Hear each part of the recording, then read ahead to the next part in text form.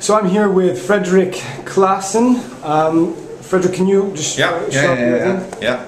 Like I promised you, I'm Frederik Classen. Yes, excellent. I'm a director of the Microwater Facility. and so, would, just for everybody who doesn't know, what is that?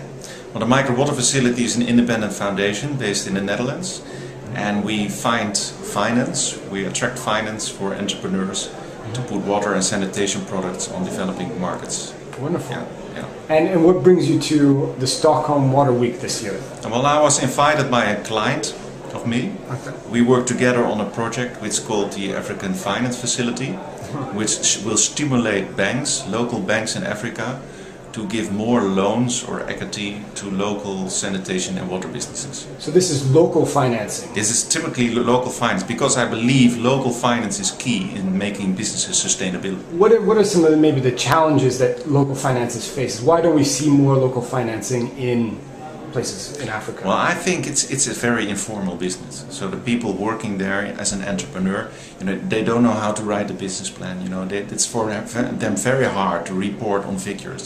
So it's very hard for investors or financiers to look at the risks and opportunities in financing such a business. So you, do you work closely then with the entrepreneurs for them to become um, um, credit worthy in a way, or is it mostly with the banks so that they can understand their, their markets better? It's a, it's the last thing. It's we work with the banks, Okay. and we what we do is we collect best practices. Mm-hmm. You know, we, we try to see what are the best product market combination for water and sanitation to be financed.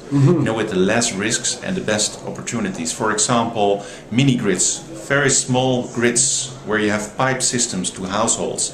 These systems, we, we, we think it's uh, it has less risks than other businesses, and it has great opportunities to scale up. Wonderful. That's that sounds very exciting. And where, if we want to hear more about this, where would we go to find out more information? You, know, you will find information on my website, microwaterfacility.org. Wonderful. Yeah. Thank you very much. You're welcome.